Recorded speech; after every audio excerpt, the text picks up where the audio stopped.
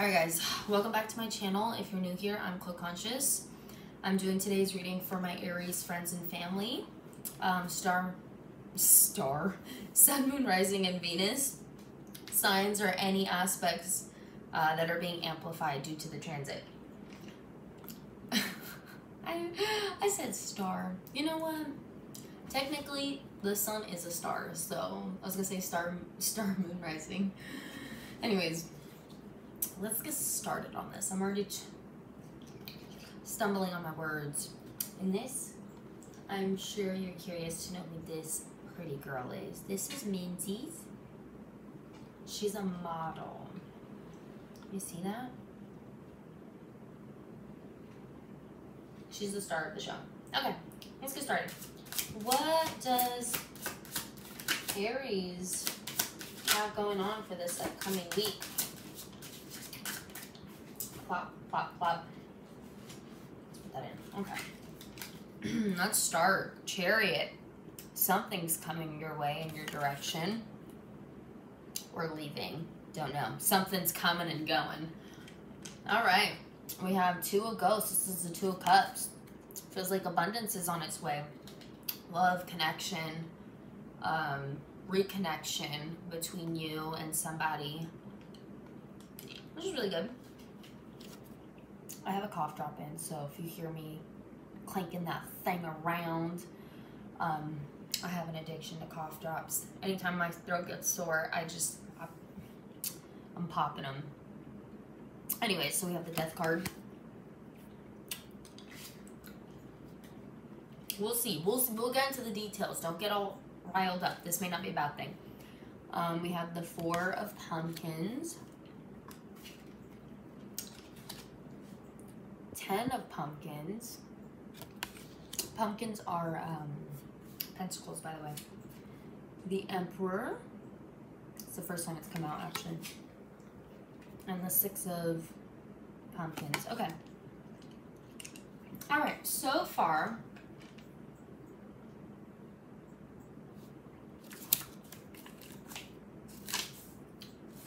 let me refer to my little booklet.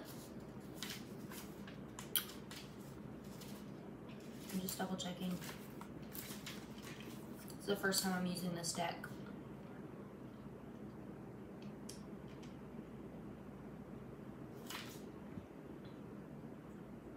Okay, so overall, this is really good. Um, so you have chariot, things are coming your way in your direction.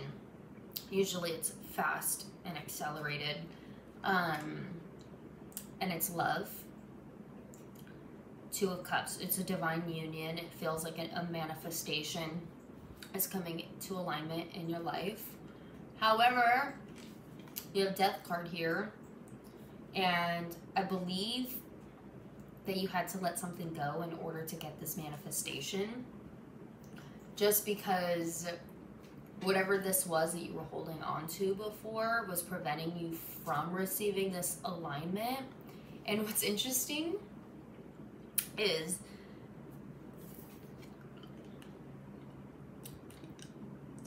what is the first thing you look at? I just want to know. I'm, I'm curious. So, whatever it is that you're looking at that you feel drawn to, I suggest you probably look it up and see um, what the spiritual significance of it is so that way you can see what it is that is dying for you or that you're letting go of, detaching from. But I first saw the Ankh. You see the Ankh? I think it's religion. Or some type of spiritual significance. So if it was something of that nature, like I'm just going to use an example. Because two of cups, you can see is two people coming into union. It's alignment, it's a relationship, it's a love situation coming in. But either they come into your life and they make you realize that spiritually, like they could be really spiritual. Because I feel like they are affecting you. Whatever this is, it's affecting you. It's not like you're helping them find God. It, it feels like maybe I want to say that they're coming into your life and they're changing the way you perceive like religion and spirituality and um, your connection with God. Because a lot of people don't realize like that they were just born a certain religion, like they were born into it. Um, you can't help that. But, and I think that although you may or may not be attached to this identity, because that's what it is, it's an identity. Because a religion should be a set of practices, not an identity. So if you're not doing the practices of said religion, then it's an identity for you, and it's not a, it, it holds no spiritual significance for you. I'm just saying, like I'm not calling you out, but that that's just how it works. So I think that this person is maybe helping you see that, helping you see that it's the practice that's more important than the identity, and recognizing that the words that you say hold less value than your than your actions. Um, I know this sounds like very specific because, but I, it makes sense to me because right here, you see that he's planting seeds. And pumpkins are pentacles, so he's planting seeds, this guy. Under the moon, with the stars. So he's planting seeds, and then 10 of pumpkins, they come, they, they fully grow. Look, he, dude, you see that? He's planting seeds, there's pumpkins that he puts on the ground and on the tree, and then look, they grow on the tree the next year. So he's he or she um they're planting these seeds helping you come into alignment with spirituality. I know two of ghosts it's like relationship or cups is relationship. But i do think that it's probably somebody helping you but two of cups is also alignment. Anytime i see the number two i think of alignment. Um, it makes me think of you know manifestations um, matching your energy. It's all about matching energy. It's not necessarily like abundance i should say because it could be abundance if you were exerting that energy but if you're not that's not the energy you're gonna get. It's all about alignment and matching your energy. Whatever the situation is it's reciprocating you. And i think that whatever this is that's coming in is trying to help you recognize that your energy is not ma- matching your manifestation and that you're just speaking.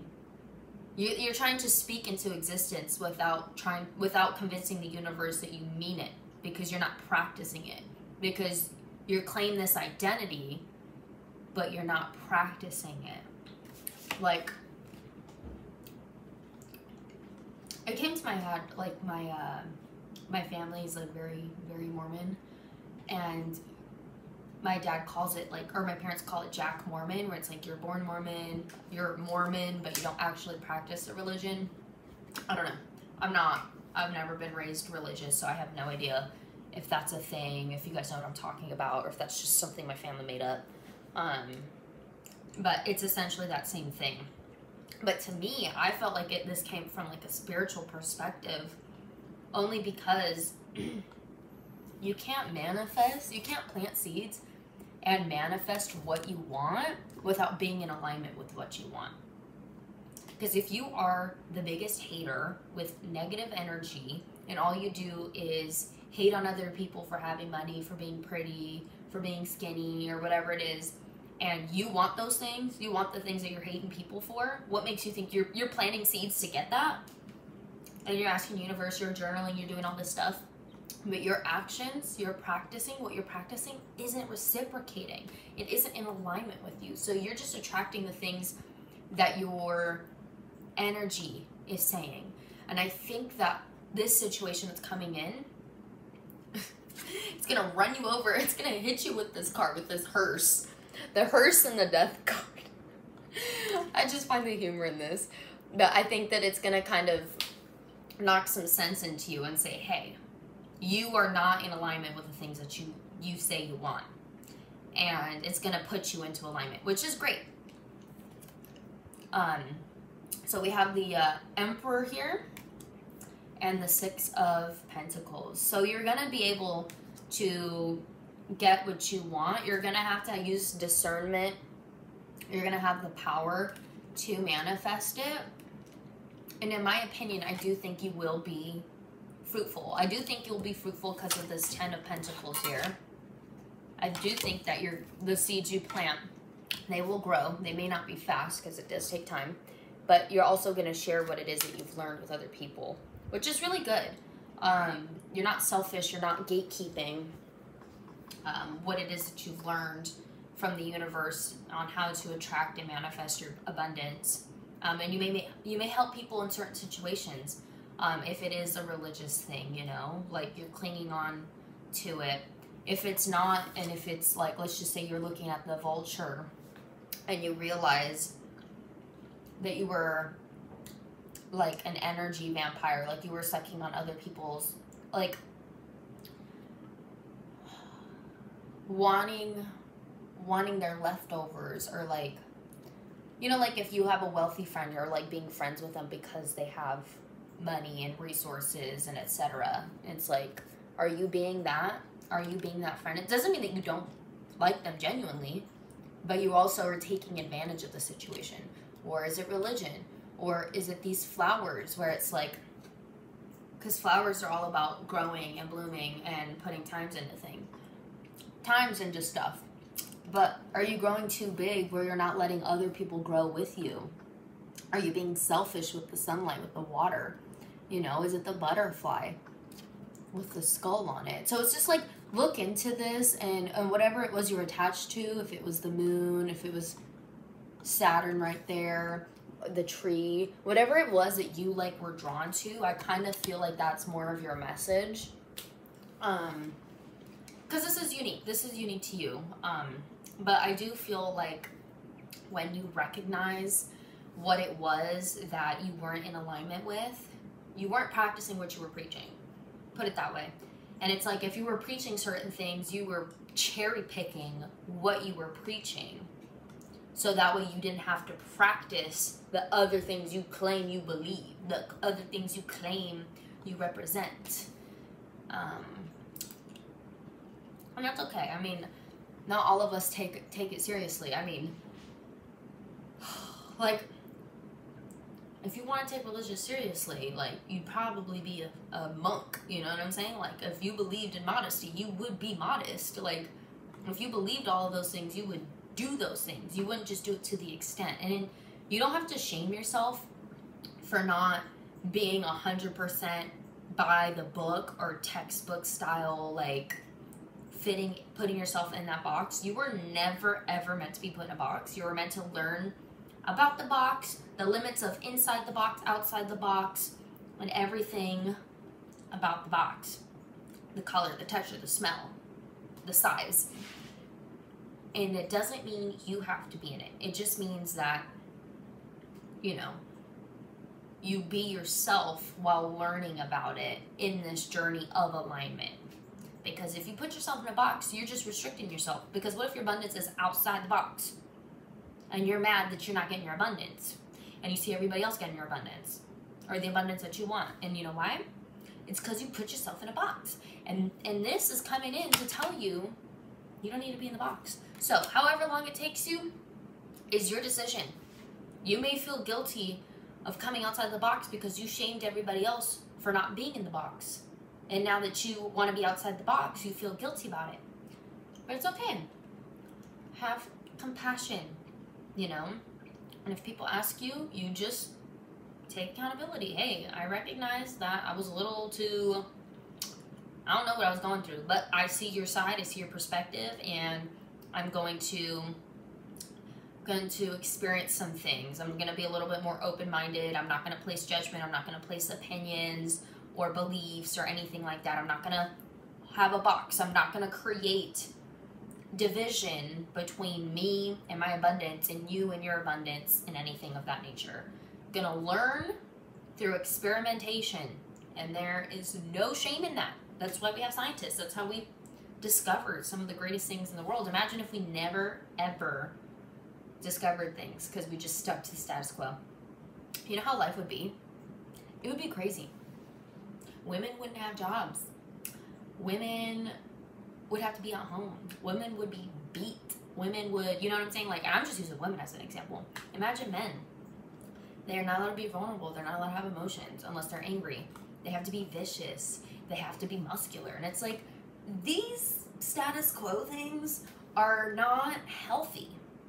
So I think when you recognize that some of these things, maybe that you were, this box that you had, whatever this is, this box could be anything for any religion, culture, ethnicity, political stance. Um, I think when you recognize that this box is unhealthy and that's what's preventing you from having your abundance, then you can receive your abundance. It'll come into alignment. It's there, it's waiting for you. But you got to do the work. And also, I do want to emphasize because I didn't notice this is until now. But I really do feel like it's religion because he's got the ankh right there. Okay?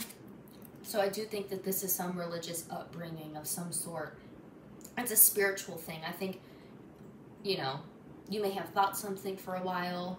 Even if you're an open minded person, you may completely change your perspective right now and realize that your abundance is not how other people are doing it. Just because other people have the abundance that you want, because they practice a certain belief, let's just say, you know, um, that doesn't mean that it's right for you or that it's right in general.